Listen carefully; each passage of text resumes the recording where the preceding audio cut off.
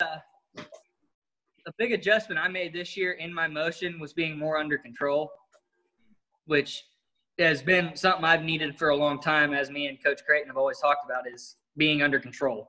I'm not everywhere. I'm everything has a purpose.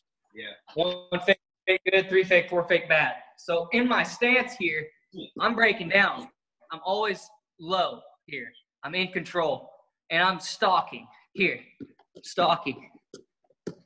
Maybe a little fake there, but my hands are always forward and down. One hand comes forward to kind of get to the crease. Other hand stays down. Either way. So I'm here in my stance right here. I'm just moving. I'm staggered, square, moving, stalking them, keeping them from going out of bounds on me, keeping them from circling around me.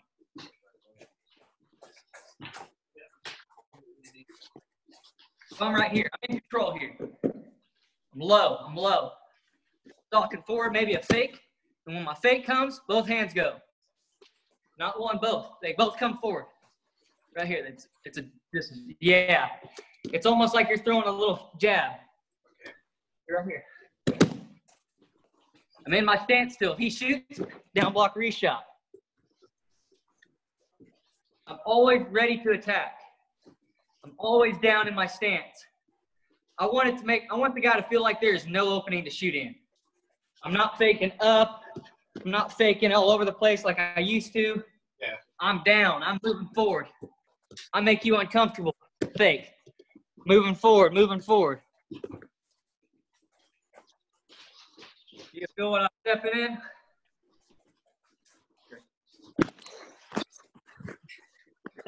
So when I'm in this stance here, I'm always in control.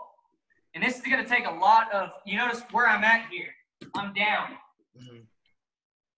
I- I'm, I'm ready to fire here at all times.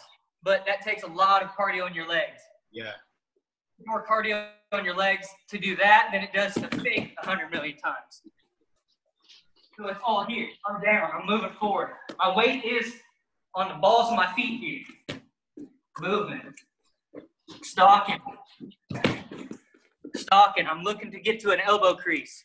But Kaid, uh, correct me if I'm wrong. If you stay down here and you kind of sit with it, it's actually easier to stay down here if you really just sit into your stance down low, but keep your head and chest up, and keep your head, uh, keep your head and chest up, keep your butt underneath you, right? As opposed to trying to be like this, just sitting, but still keeping that L. Yeah. Yeah, it, it's it's easier on all the muscles in your legs except for one. Your ass. The hamstring. Yeah. Your ass. Your ass and your hamstring. Yeah. That's that's the one muscle that's going to really fatigue and feel it. Right.